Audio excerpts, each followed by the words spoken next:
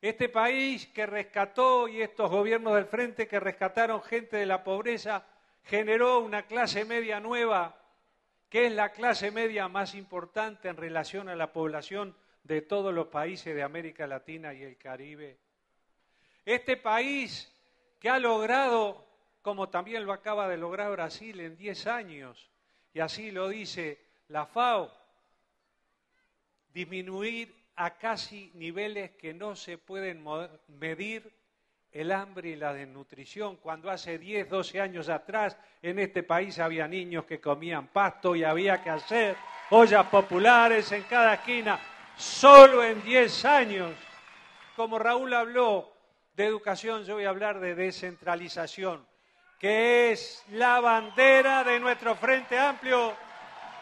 que es nuestro signo de identidad, porque todas las fuerzas políticas de este país prometíamos que si llegábamos al gobierno íbamos a descentralizar el país y todos llegamos al gobierno y el único que descentralizó fue el Frente Amplio. Y hoy tenemos en el país tres niveles de gobierno, el de gobierno nacional, el gobierno departamental y los municipios, creados para estar al lado de la gente, creados para que haya más nivel de participación popular, para que se gobierne con ustedes, porque el Frente Amplio tiene la vocación de compartir el gobierno con el pueblo y hacerlo junto al pueblo